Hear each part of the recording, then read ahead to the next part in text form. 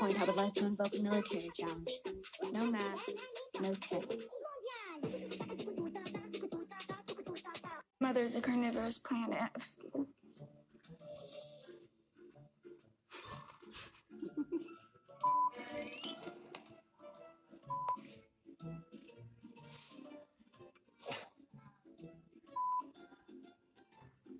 You needed to use it. Sorry. Oh, sorry. Did I hit you in the face right now? Hold on. Are you okay?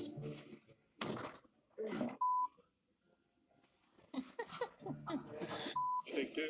Pick up. Thanks, George. This one's for you. What the hell did you do to my room? Dividing our room equally.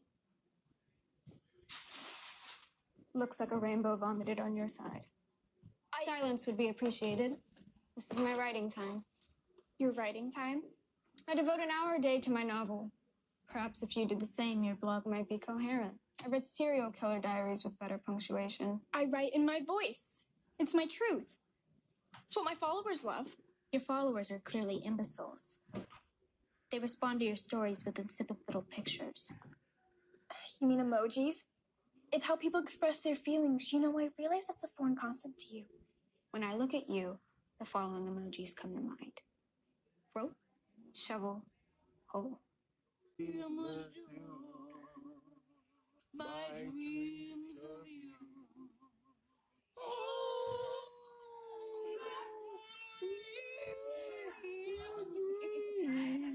guys are making me nauseous.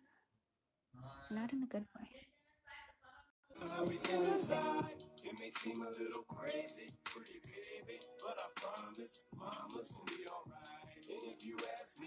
Nobody's gonna buy you a mockingbird. I'm gonna big